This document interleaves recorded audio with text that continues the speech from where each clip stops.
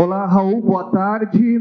É, esses 10 dias sem, sem jogos para o Ercílio, foi bom ou ruim? Acho que a gente só vai saber isso no domingo, né? Na verdade, sim. Eu acredito ter sido bom pelo sentido de recuperação dos atletas, na questão física. Né? A gente vem de quatro jogos pesados num curto período e com poucos treinamentos, na verdade, trabalhando mais em cima de recuperação e, e propriamente vídeos e informações para os atletas. E eu acho que esse tempo a gente conseguiu dar uma recuperada boa na galera, no pessoal, em relação à questão de jogo e também em relação à questão de fazer uma preparação adequada para a próxima partida e para essa próxima sequência de quatro jogos novamente. O Raul, o jogo contra o Catarinense na tabela é uma partida fora de casa, mas até por ser um clube sem um estádio próprio e sem uma grande torcida, dá para classificar como um campo neutro. Com esse cenário e com eles na lanterna e o Ercílio tendo bom início, dá para considerar um favoritismo do Ercílio no jogo? Não, não acredito nisso. O Campeonato Catarinense, todos os jogos têm um nível de equilíbrio muito grande. É, acredito que vai ser um jogo extremamente difícil, um jogo pesado. É, o Atlético Catarinense acabou de trocar treinador. Eduardo Costa é um, foi um atleta que eu trabalhei na época de atleta, depois eu fiz o curso da CBF junto com ele. Ele é um cara extremamente inteligente, eu acredito que ele vai vir com uma equipe bem organizada. O mais importante é que a gente consiga estruturar bem nossa equipe, a gente conseguiu recuperar bem os atletas, é, passar os detalhes aqui para o Atlético Catarinense, estar atento aos detalhes dentro do jogo, que a gente sabe que algumas coisas devem se alterar conforme a troca do treinador, para que a gente consiga um bom resultado.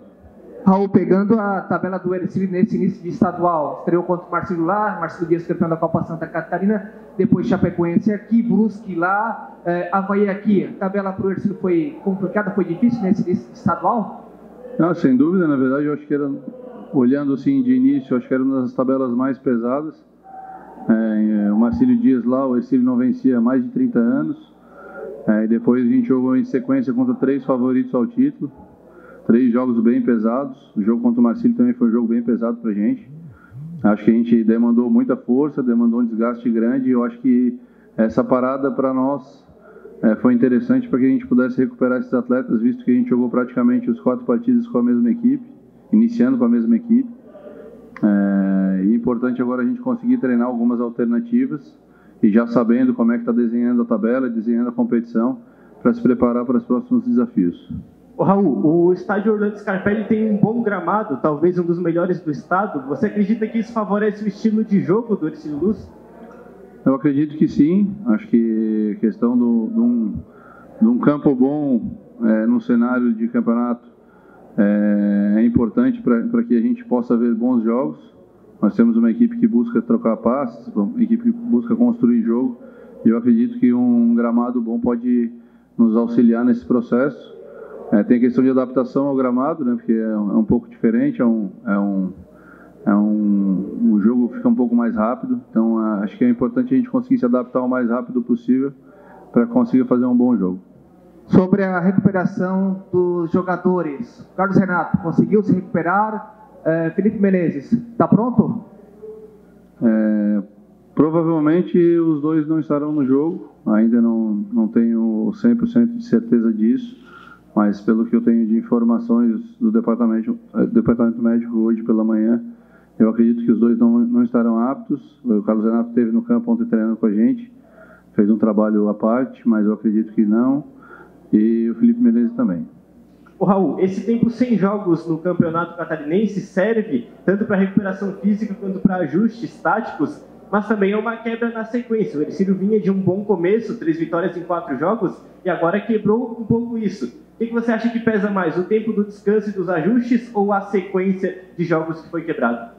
Ah, eu acredito que isso aí a gente só vai saber no domingo em relação à questão do resultado, porque é, como que a gente vai reagir a esse período de descanso, como que a equipe vai retornar às disputas. Eu acho que foi importante para a questão do controle físico dos atletas, essa recuperação, essa reorganização. É, mas a gente sabe também que esse período também foi importante para algumas equipes que vinham com resultados ruins e que precisava se reorganizar. Então eu acredito, como todos os jogos do Campeonato Catarinense, eu acredito que vai ser um jogo difícil, um jogo pesado. É, o mais importante é que a gente consiga controlar é, o nosso rendimento para que a gente saia com um bom resultado. Devido ao início da, do Ercílio no campeonato, o pessoal vem elogiando, todo mundo está de olho, né?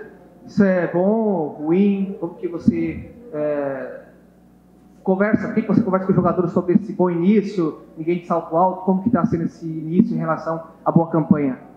Ah, eu acredito que é bom pela questão de rendimento, né? Ver que a gente está rendendo. É, a gente trabalha num cenário do meio esportivo que é, ter bons resultados te coloca em ascensão e isso é interessante para a gente, para todos.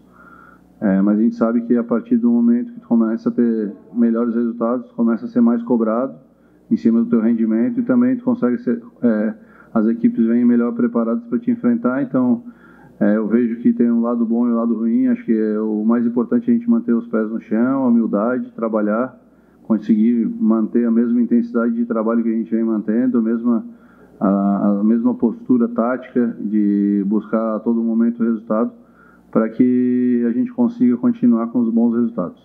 Com a ausência do Carlos Renato, a gente viu o Rainan assumindo a função pelo lado direito do ataque. Você gostou da atuação dele contra o Havaí e deve ser ele o escolhido para continuar, caso o Carlos Renato não tenha condições? Eu gostei do que o Rainan apresentou, ele fez um bom jogo contra o Havaí. Nós temos outras opções dentro do, dentro do elenco. É, tem algumas possibilidades que foram treinadas. E conforme for aquilo que a gente imaginar, a gente testou ontem, vamos testar ainda hoje e ainda no, no pré-jogo para ver aquilo que a gente acha mais, mais ideal para essa partida. Acho que contra o Havaí, o que a gente demandava era um equilíbrio um equilíbrio entre ataque e defesa. Acho que o Rainan conseguiu dar esse equilíbrio para a gente, visto que o Havaí tinha o Natanael, que é um lateral que apoia muito bem.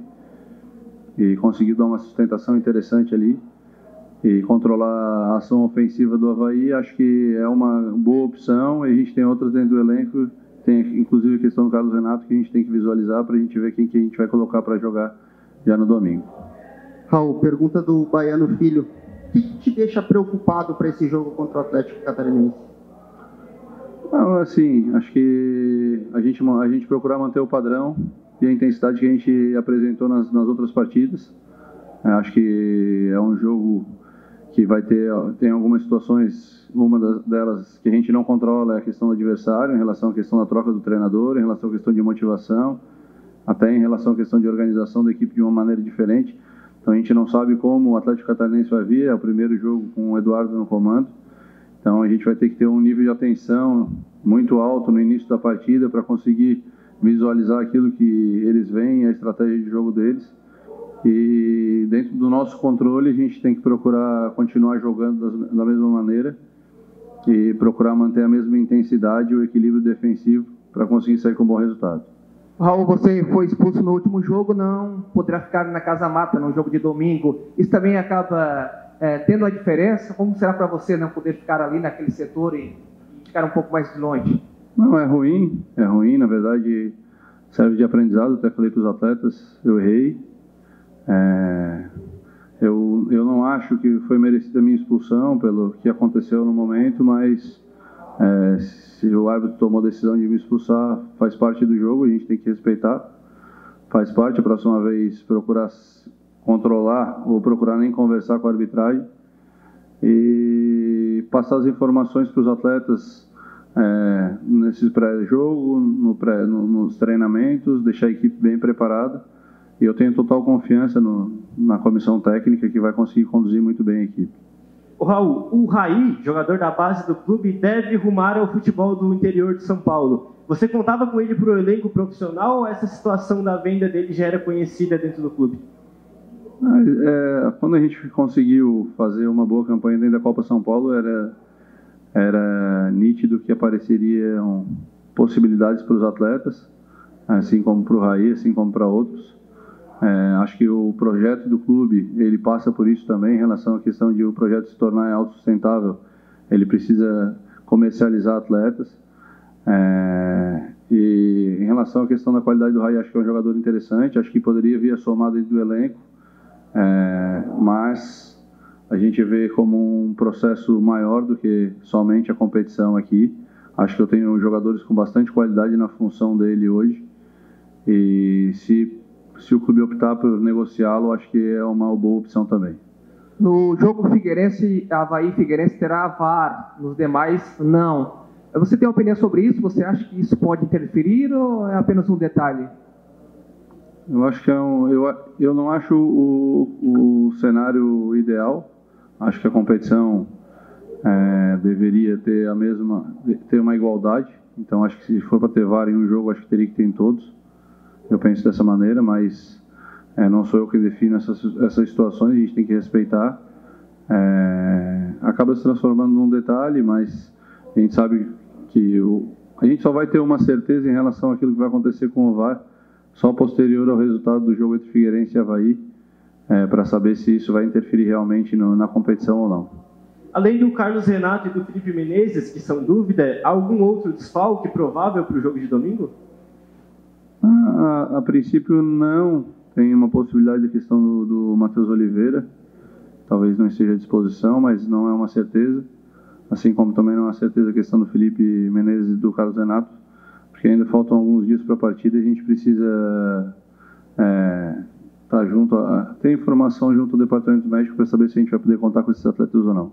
Mas o Oliveira vem treinando ou ele está no dele? Não, ele está ele tá, ele tá no departamento médico. Thank you.